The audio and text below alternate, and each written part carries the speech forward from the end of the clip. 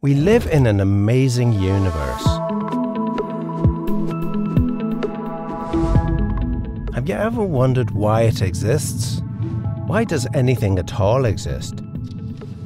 Gottfried Leibniz wrote, The first question which should rightly be asked is, Why is there something rather than nothing? He came to the conclusion that the explanation is found in God. But is this reasonable? Everything that exists has an explanation of its existence. If the universe has an explanation of its existence, that explanation is God. The universe exists. From these, it follows logically that the explanation of the universe's existence is God. The logic of this argument is airtight. If the three premises are true, the conclusion is unavoidable. But are they more plausibly true than false. The third premise is undeniable for anyone seeking truth. But what about the first premise? Why not say, the universe is just there, and that's all? No explanation needed. End of discussion. Well, imagine you and a friend are hiking in the woods and come across a shiny sphere lying on the ground. You would, naturally, wonder how it came to be there. And you'd think it odd if your friend said, there's no reason or explanation for it. Stop wondering. It just is. And if the ball were larger, it would still require an explanation. In fact, if the ball were the size of the universe, the change in its size wouldn't remove the need for an explanation. Indeed, curiosity about the existence of the universe seems scientific and intuitive. Someone might say, if everything that exists needs an explanation, what about God? Doesn't he need an explanation? And if God doesn't need an explanation, then why does the universe need an explanation? To address this, Leibniz makes a key distinction between things that exist necessarily and things that exist contingently. Things that exist necessarily exist by necessity of their own nature it's impossible for them not to exist. Many mathematicians think that abstract objects like numbers and sets exist like this. They're not caused to exist by something else, they just exist by necessity of their own nature.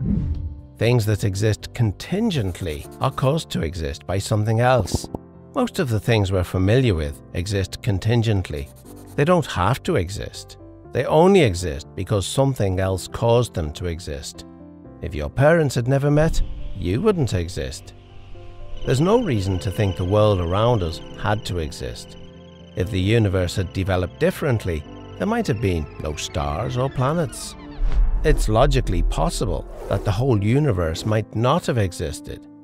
It doesn't exist necessarily, it exists contingently.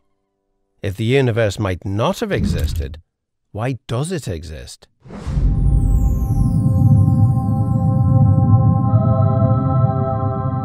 The only adequate explanation for the existence of a contingent universe is that its existence rests on a non-contingent being, something that cannot not exist because of the necessity of its own nature. It would exist no matter what. So, everything that exists has an explanation of its existence, either in the necessity of its own nature or in an external cause. But what about our second premise? Is it reasonable to call the explanation of the universe God? Well, what is the universe? It's all of space-time reality, including all matter and energy. It follows that if the universe has a cause of its existence, that cause cannot be part of the universe. It must be non-physical and immaterial, beyond space and time. The list of entities that could possibly fit this description is fairly short, and abstract objects cannot cause anything. Leibniz's contingency argument shows that the explanation for the existence of the universe can be found only in the existence of God.